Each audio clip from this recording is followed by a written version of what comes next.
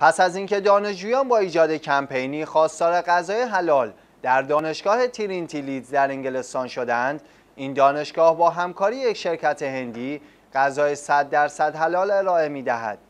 جنیفر دان گفت ما همیشه به دنبال ارائه خدمات به دانشجویان مسلمان هستیم و غذاهای سالم و مغروم به سرفرانیز ارائه می دهیم و منوی کاملا حلال بدان معنی است که می توانیم از همه در دانشگاه پذیرایی کنیم.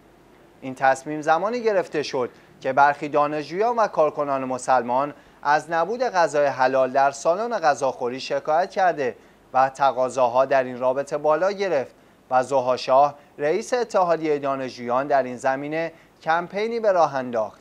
گفتنی دانشگاه لیدز ترینیتی یک دانشگاه دولتی در شهر هورسفورد در نزدیکی لیدز غرب یورکشایر است.